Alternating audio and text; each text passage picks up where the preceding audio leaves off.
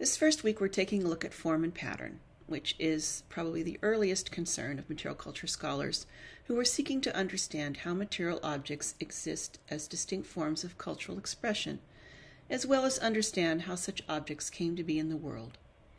In particular, early material culture scholars were very influenced both by art historical approaches that attempted to understand specific artistic forms and as an expression of the mind of individual makers as well as structural anthropology, uh, through which scholars attempted to understand the deep structures of mind that undergird cultural expression.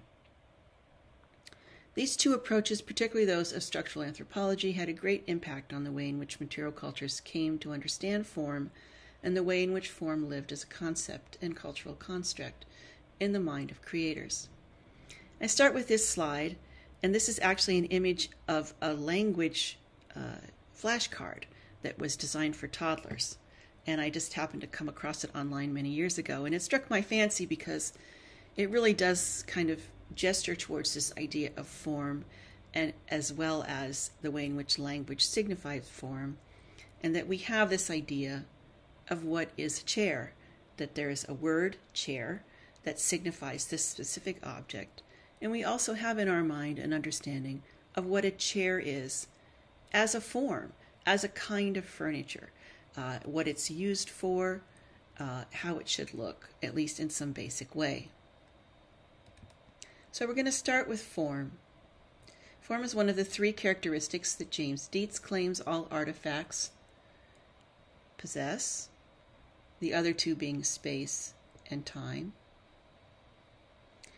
Formal dimension specifically resides in the physical aspects of artifacts. It's the configuration of the object, its ness, if you will. Henry Glassie, in his seminal work Pattern of the Material Culture of the Eastern United States, has a slightly different but related formulation which claims that any material object must be broken down into its components Fundamentally, it will have form, construction, and use. Of these basic parts, the most important is form, Glassie writes. The typology and cross cultural classification of material culture must be based on form only. That is, in the establishment of a chair type, the construction of the chair and the use to which it are put are not considerations. Now, we might argue with this, but from a structural point of view, in the 1970s, when Glassie's writing his book, form is the most important aspect of an object. Form usually follows function, and form is important according to Glassie because it allows us to understand the deeper structures in which the creator of a chair, for instance, is working within. We could certainly argue, as I said with his formulation, that construction and use are less central. But from the point of view of art- understanding artistic production, form is central. But form is also important to Glassie uh, because it is the most unchanging aspect of an object. Because it follows function, it is relatively constant. And as Jules Prown says, it is the variable against which stylistic variables play. So, form is the most constant uh, attribute of any material cultural object in part because it corresponds to the essence, or the, as I call it, the ness of an object. How do we understand form? Form is a very abstract concept on one level. When we start talking about the essence of an object, for instance. But form can also be understood through a concrete visual and tactile engagement with an object, with the aim of understanding its fundamental characteristics. Glassie points out that any object's form can be separated into primary and secondary characteristics. According to Glassie, the primary characteristics of a folk house type, for instance, would be height, floor plan, uh, possibly stylist trim and appendages such as ports and additions would be secondary considerations.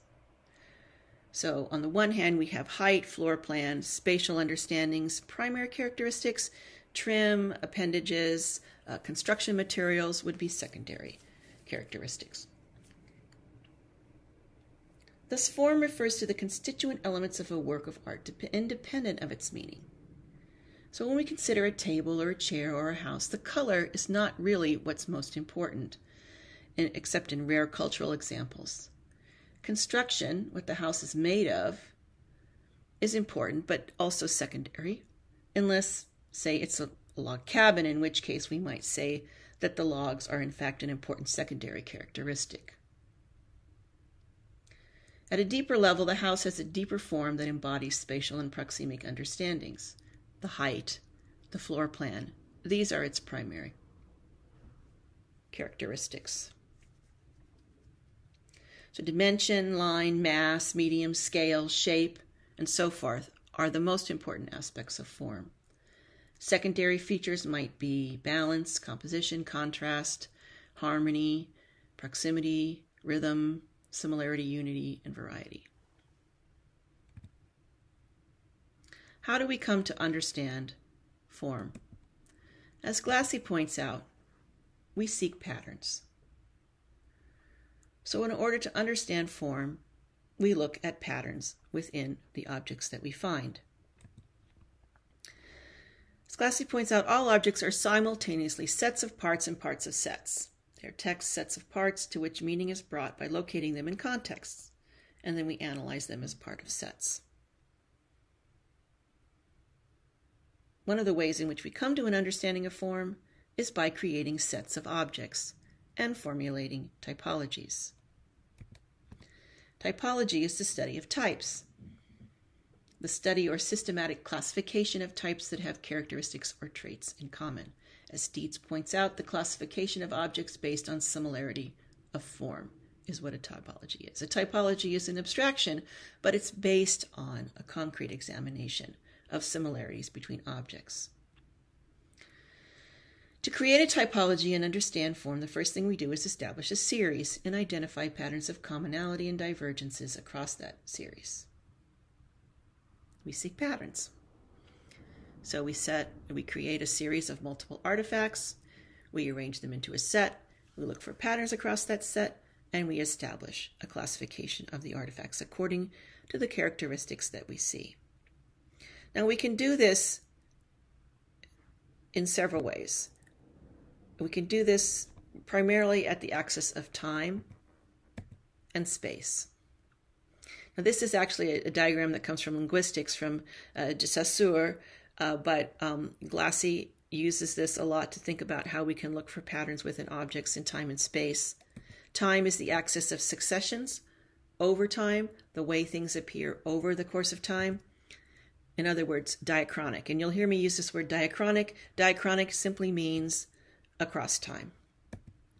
Space is the axis of simultaneities. Within a specific time, across space, we can also see uh, simultaneous things, or what we would call synchronic, uh, synchronic forms. So you'll hear me use these terms diachronic, synchronic. They simply mean form across time or form within time across space. So let's get more concrete here. Using the example of the salt box house, a vernacular house type specific to New England, emerges during the colonial period James Deetz talks about this um, house form, of course, in all in small things forgotten. Approaching the saltbox house from both a diachronic and a synchronic form, we can first look at the colonial period and look at the emergence of this form. We can say that within a specific time period, this was a dominant type across uh, the region of New England. Again, looking at a synchronic moment, if we think about synchronic as being a kind of slice of time, within that time, what do we see? This also corresponds in some ways to Deetz's idea of the peak, the peak of forms. So we could say that the saltbox house has its peak within a specific time period, and then we would look synchronically across that, here establishing a series of examples, all of which have certain primary and secondary characteristics in common. Uh, specifically, these are uh, uh, really located around the transformation of the traditional hall and parlor two room house into the salt box house. So we see the remnants of the hall and parlor house here. and then the addition of the lean to in the back. It's the addition of the lean to that gives the salt box house its specific and primary characteristic. So that is the, the, the, the single story lean to at the rear of the house that was almost always used uh, to form a kitchen and to move the working dirty work of the house to the rear of the house. We also see some other uh, primary characteristics, one of which is the central chimney. And this is something that's consistent across this house form across time. On this slide, we have several examples of salt box houses. The upper left hand corner is a 17th century example, and then the latter two below it are both contemporary examples. The example on the right is actually uh, a, a, real estate developer um, document from the uh, late 20th century, uh, post war period. So we're seeing again the central chimney, the symmetrical front, and then, of course, the lean to in the back. So even as the internal floor plan changes somewhat over time as modern life changes, the outer form, the primary characteristics of this house form, remain constant over time. And then we can also look at the transformation of the saltbox house into the I house, uh, which uh, Deetz also talks about, and I show examples of in the other slideshow for this week. Okay, as we look at the manifestation and then transformation and spread of types, so we've started by creating a typology. We look for patterns within a set of objects, but we can also look at how these ideas about form spread over time, how they uh, diffuse is the word that's used across space and time. If we stick with the example of folk housing, uh, we can look at the work of Fred Kniffen and then later Henry Glassie, who mapped specific regions of folk housing across the eastern United States.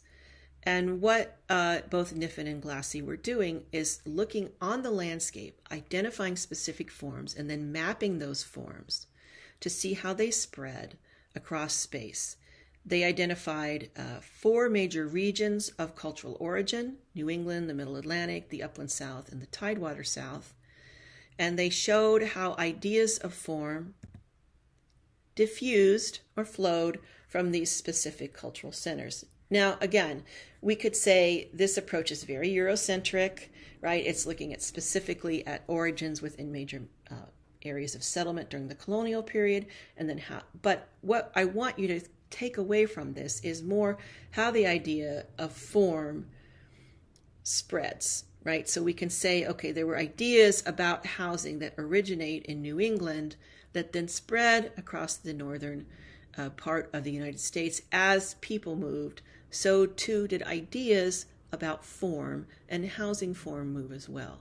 So we can trace these also from the mid Atlantic, probably the Philadelphia area and Pennsylvania, um, then across west, across Ohio and the Midwest, or down the old Conestoga Wagon Road, down into the mountain, down through the Appalachians. Um, we can see that kind of secondary vein coming down from number two would be uh, those folks who travel down the Appalachian Trail. And then we have also the spread of ideas down the coast to the south. And you'll see there's a, a then a fourth area down here, uh, which is less prominently um, noted in the former slide, but would be the migration of ideas up from the Caribbean, right? So we're talking about the shotgun house this week. That's a formal understanding that comes from the Caribbean up through Louisiana and then spreads across the lower south. So this is cultural diffusion across space and time. And as a result of this cultural diffusion, we also see the emergence of uh, synchronically of specific house types that become then constant vernacular house types that characterize the region of the country. So, uh, moving south to uh, where we are here in Georgia, we can identify throughout the um, upper and lower south a specific set of types. Again, this is both synchronic and diachronic, and that these forms do emerge over time. But at this point, we're kind of looking synchronically. We're looking at the landscape as it is now, and we're identifying specific housing types that characterize that region. Uh, these would include the I house, which I mentioned before, which of course was the model for many plantation homes. Uh, there's the saddlebag, and then the single pen, which is similar to a shotgun house in that it is a single uh, room mast, uh, but we we see there's a location of a fireplace, a chimney on the side of the house, and this can also be multiplied into the double pen house, which is very similar uh, to the I house. One very distinctive southern house type is the dog trot house, which is two, uh, which is the kind of opening up of a double pen house to include a, a central passageway. Again, we can see this as an adaptation to the southern climate, which allowed for airflow uh, throughout the house. And then, of course, the shotgun house, which I discuss in another slide presentation. So we look across time, across space, we look diachronically, we look synchronically. Let's take a look at a second concrete example. Tables. Here we have a set of tables, but I think if we start to look closely at them, we can see that they're very different kinds of tables. Uh, some of them have a similar, seem to have a similar form and function. Others seem to be uh, very different. So let's take a closer look. What is the form of a table? In its most basic sense, a table is some sort of flat surface which is raised above the ground and held up by a series of symmetrically arranged poles or, or what we call legs. Okay, so that's its essential tableness. It's a surface, something that we sit at, uh, something that can hold things up above the ground. We don't know of any examples of tables that don't have some sort of surface that is propped up by some kind of leg. But we know that there are many forms of tables. So if we're going to look at identifying a table form, the first thing we would look at are its primary characteristics, the nature, the height, the nature of the surface, both its dimensions as well as its configuration. We would also look at whether the table has any specific kinds of storage or whether it, and whether it's meant to be sat at by one single person or by multiple people. Is there any sort of way in which the table is fundamentally constructed that's unique? Secondarily, we might look at other appendages, right? So we might look at the style of the legs or the configuration of the legs. Is it a gate leg table? Is it a pedestal table? We might look at the nature of the decoration and maybe even possibly at some secondary aspects of function in order to understand our form. So let's try this with some particular tables. Here's an example of two card tables from the early 19th century in Massachusetts. If we look more closely, we can say, okay, well, these are tables. They're in a certain style. We could certainly look at the fact that they're pretty much a neoclassical style, the very slender legs, the inlay, um, the slightly Grecian um, tone of the uh, shape around the edges of the table. But we're not talking about style, right? We're talking about form. So, at best, these things we notice initially are, in fact, at best secondary characteristics, but more likely style. Okay, so now let's compare these to two other card tables from about 20 years before. We can see that stylistically they're very different. Right? One on the right is very Chippendale, with the um, talon and ball um, leg. But these are also card tables. How do we know what this form is? So let's look and think in terms of a series. If we compare them to the prior ones, we'll notice that all of these tables have a doubled top, right? First of all, they're all about the same dimensions. The tabletop surface is very similar in each of the four examples. Then we also notice that they all have this doubled top. This is a very important primary characteristic of this table form because it allows the table to be opened up and slid across to form a, a larger surface. Here we have a mid 18th century Chippendale card table, very similar to the one in the prior slide, and we can see how it opens up and creates a larger surface. We also see that it can seat four people and that there are little cups or storage areas on each side of the table, presumably for individual use. These could hold um, gaming pieces. Now we're starting to get a clearer sense of this form and function and its function, right? That this has to be uh, have several different aspects in order to be an 18th, early 19th century card table. One is that it has to have this double top that opens up. This suggests to us also that the card table is not a temporary feature of a room, but probably something that was stored in a corner or used in a different way and then opened up and brought out for the activity specifically of card playing.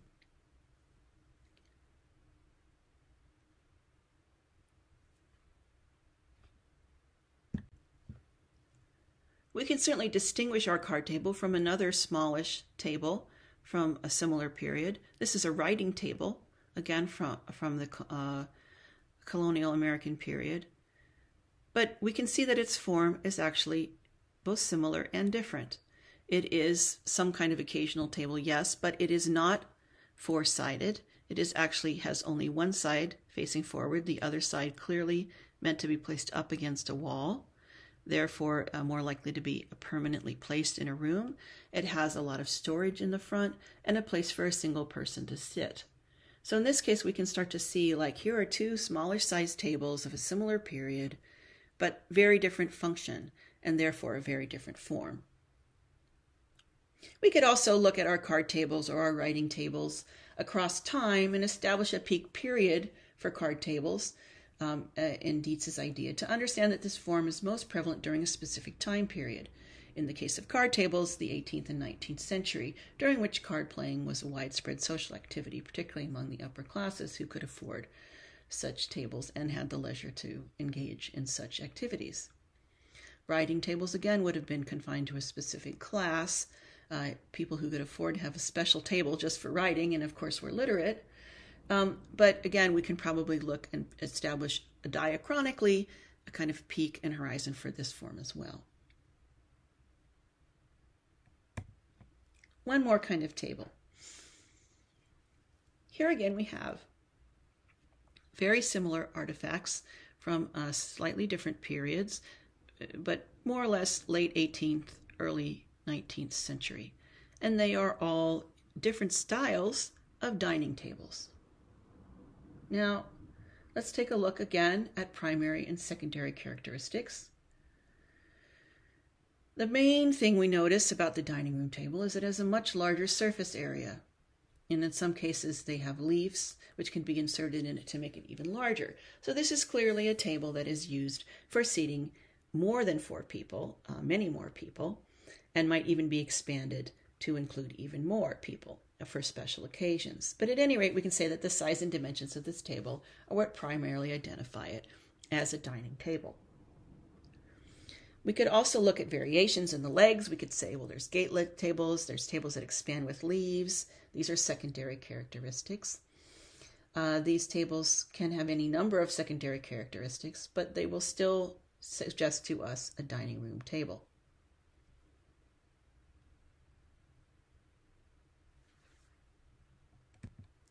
Here's a contemporary example. Again, the shape of the surface is different. It's now round, which suggests less formal dining.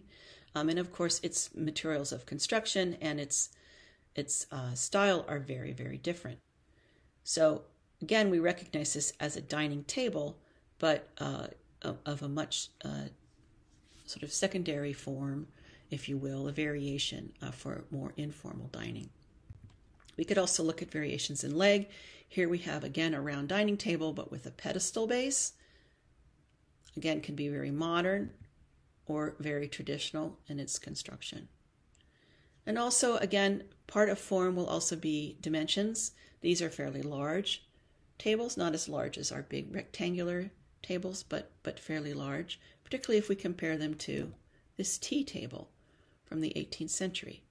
And here again, if we think about primary and secondary characteristics, uh, we can say, okay, so this has a certain surface, it's decorative, it's uh, smaller, um, clearly not meant to have formal seating around it. Uh, we also notice that it its top flips, and this is again an important primary characteristic of this as a tea table, something that would not again have been a permanent uh, part of the room setup, but would have been brought out strategically, um, opened up, and used for tea service. And again, we can definitely also map this across time and space and understand how it probably has its height um, during a period in which tea drinking is an, is an important uh, cultural and social activity. But again, from a formal understanding, we can it is primarily its dimensions, its shape, and then its functional feature of the flip top that identify it as a tea table. So these are some examples of ways in which you can create a series of objects, uh, diachronic or synchronic, uh, and we can understand the way in which each of the objects in this series have something in common that establish a form, a type, and then how we can map that type across space and time.